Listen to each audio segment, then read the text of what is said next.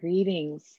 My name is Aishah Shahidah Simmons, and I'm the writer and director of No, the Rape documentary, a groundbreaking film about sexual violence, non carceral accountability, and healing in Black communities. Funded by the Ford Foundation, among other partners, I began developing No over 25 years ago in a script writing workshop taught by my teacher, the late award winning Black feminist writer Toni Cade Bambara at Scribe Video Center in Philadelphia, Pennsylvania. I spent 12 years making No, seven of which were full time. The number one reason for the length of time to make the film economic censorship. You see, in the 90s, very few funders and media broadcasters were interested in a feature length film about sexual violence, accountability, and healing in Black communities. Despite this resistance, I created a Black feminist led, multiracial, mixed gender, international grassroots fundraising campaign to support the making of No. Now, this was the 90s, so this was before the internet as we know it today. There were no Kickstarter, Indiegogo, GoFundMe, or other line, other online crowdsourcing campaigns. I had to put my feet to the pavement and lick those stamps. And as a result of that, I received invaluable support from so many individuals and several courageous funders based across the United States and in Canada, France, Belgium, England, Italy, Hungary, the Netherlands, and South Africa. Thanks to this global community, I crossed the finish line. Subtitled in Spanish, French, Portuguese, and German, all of which was done by Black women.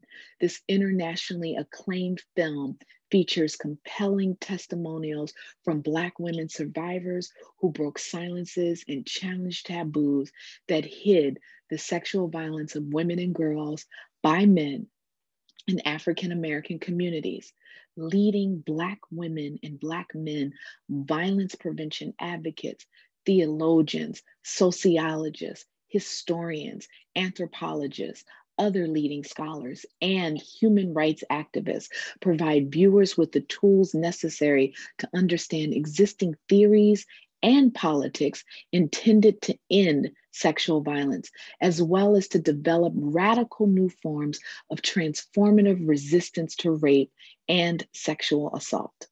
Impacting archival footage, spirited music, transformational dance, and performances from three award winning poets the late Essex Hemphill, Honorée Fanonne Jeffers, and Samiya A. Bashir take viewers on a journey from enslavement of African people in the United States through the early 2000s.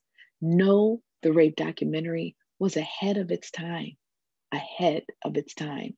Its February 2006 world premiere at the Pan African Film Festival in Los Angeles, California, took place 18 months before Title IX was successfully applied to campus sexual assault cases, and 11 years before the critical global recognition of the long term work of the Me Too movement. Alice Walker, the Pulitzer Prize and National Book Award winning author, says of No and I quote, if the Black community in the Americas and the world would save itself, it must complete the work this film, No, begins. Since its release in 2006, No has been continuously screened and distributed to racially and ethnically diverse audiences at film festivals, colleges, universities, high schools, correctional facilities, rape crisis centers, battered women shelters and conferences throughout the United States, across Canada, and in several countries in Europe, Africa, Asia, the Pacific Islands, South America, and the Caribbean. I was elated when my trailblazing sisters, Fasaha Traylor and Dr. Allener Baker Rogers, the visionary co authors of the book, they carried us the social impact of Philadelphia's Black women leaders expressed an interest in hosting a virtual screening of No and a conversation with my mother, Dr. Gwendolyn Zoharah Simmons, who is featured in No, and me, moderated by award winning journalist Linda Wright Moore for Women's Herstory Month. My mother, Linda, and I each have the honor of being featured in this groundbreaking 400 plus page book featuring a foreword by the legendary poet laureate and human rights activist Sonia Sanchez. If you don't have a copy of this book already, I encourage you to run, not walk, to get your copy today. I must also share with profound and infinite gratitude that Sister Sonia Sanchez, along with Sisters Inell Cox Bagwell and Pat Clark, were the first major individual donors to No in the mid 1990s. They said enthusiastically yes to No. Please register to join us on Wednesday, March 31st at 7 p.m. Eastern Standard Time for a live virtual conversation titled Generations of Struggle A Mother Daughter Conversation About Sexual Violence. All registered participants will receive free access to a link to view No from Friday, March 26th, 2021 through Friday, April 2nd, 2021.